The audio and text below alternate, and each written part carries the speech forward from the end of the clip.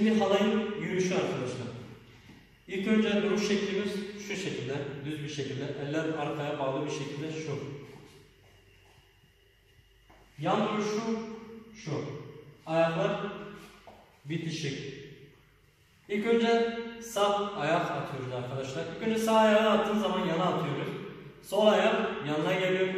Sağ ayak yine yana atıyorsunuz.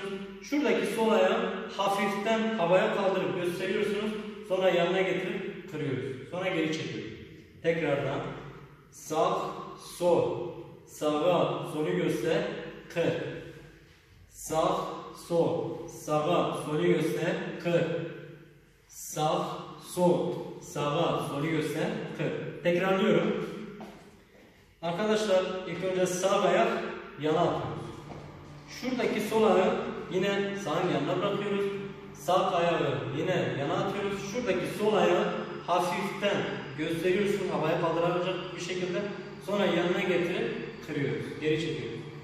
Sağ, sol, sağa, solu göster, kır. Bir, iki, sağa, solu göster, kır. Bir, iki, solu göster, kır. Bu normal ağır temposudur. Eğitim olarak ağır temposu olduğundan dolayı normal hızlı temposu şudur arkadaşlar.